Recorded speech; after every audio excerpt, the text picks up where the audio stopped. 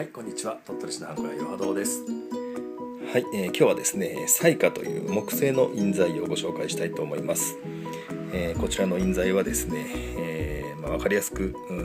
特徴をお伝えしますと安い、強い、えーそして美しいというね、えーそういった特徴が、えーある印材です。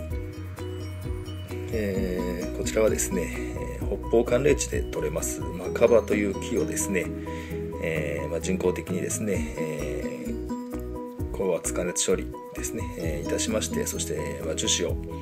えー入れることによりですね、え強度を増した印材となっております。この木製の印材、まあ、あと柘植なんかですね、えーというのはですねやっぱ強度が、えー弱くてですね金額は安いんですが、まあ、かけたりあとは長年使用すると歪みが出たりとかね、えー曲がってきたりすることもあるんですが、えーそういったね、木製印材の欠点を、えーま、人工的な処理を加えることによって、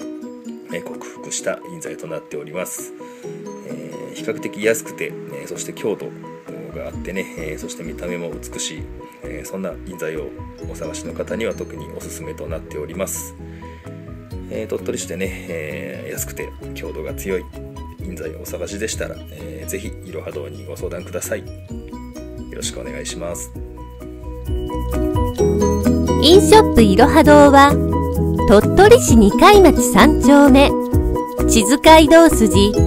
商工会議所並びです。